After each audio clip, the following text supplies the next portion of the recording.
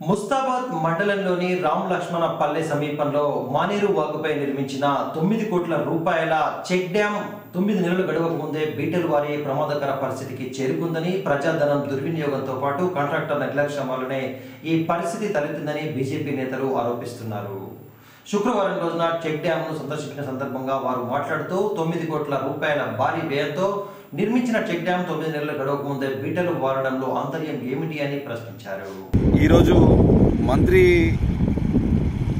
కనుసన్నలో ఉన్నటువంటి కాంట్రాక్టర్లు కానీ అధికారుల పనితీరు మీరు చూస్తూ ఉన్నారు. కట్టి ఆరు నెలలు కూడా కాలేదు ఇప్పుడే పగిలిపోయే పరిస్థితికి వచ్చింది చెక్ డ్యాంలు అసలు ఈ చెక్ డ్యాంలు ఎవరి ప్రయోజనాల కోసం ఈ మానేరు నది పైన?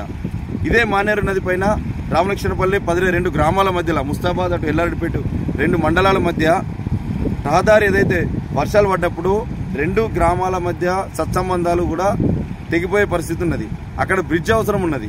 ఆ బ్రిడ్జ్ నిర్మించడం లేదు కానీ అదేవిధంగా గంభీరాపేట లింగనపేట మధ్యలో కూడా రెండు గ్రామాల మధ్య సంబంధాలే దిగిపోయేటువంటి పరిస్థితి గట్టిగా వాగొస్తే.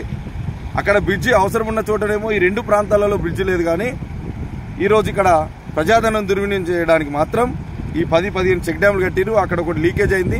ఇదివరకే చెప్పినాం వర్షాల కంటే ముందే ఈ నాణ్యత లేని చెక్ డ్యాంలు కాంట్రాక్టర్ల పైన మీరు చర్య తీసుకోవాలి. వాళ్ళ కాంట్రాక్టర్లు రద్దు లైసెన్స్ రద్దు చేయాలని చెప్పి ఇదివరకే హెచ్చరించిన పలుమార్లు కూడా అయినప్పటికీ ఏఈలు డీఈలు వచ్చి నామకి మాత్రంగా వచ్చి దీని డిపార్ట్మెంట్ వాళ్ళు వచ్చి చూసి వెళ్ళిపోయారు. కానీ మరి ఈ రోజు దీనికి ఎవరు బాధ్యత వహిస్తారు? మంత్రి బాధ్యత వహిస్తారా? లేదంటే ఆ కాంట్రాక్టర్లు వహిస్తారా?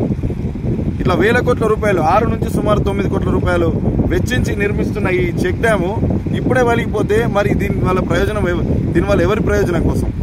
కాంట్రాక్టర్ల జేబులు నింపడం కోసం కాకుండా ఇంకెవరి కోసం. వెంటనే ఈ ఈ కాంట్రాక్టర్ లైసెన్స్ రద్దు చేయాలని చెప్పి డిమాండ్ చేస్తాం